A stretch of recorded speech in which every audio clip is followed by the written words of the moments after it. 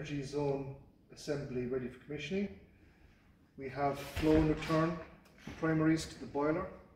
We've got a central heating zone, another central heating zone, and a domestic hot water zone to a cylinder upstairs. Everything's controlled through an Ember pack. So all the sensors, room stats, they're all wireless. They all feed back to this one wirelessly. Uh, everything is pre-wired back to this unit here, which is NRG Lex. We've got the clock itself powered from zone one. Then it sends three individual switch lives back for three independent zones.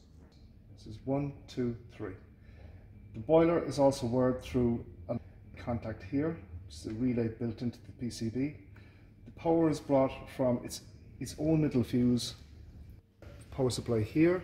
It's then looped over through what can be a dry contact for the likes of gas boilers, etc. But then it sends a switch live back down and out to the boiler. It's a very straightforward uh, and easy installation for something that can be quite time consuming and complicated. With this type of setup, you can expect to slaughter your installation time alone by up to 50%.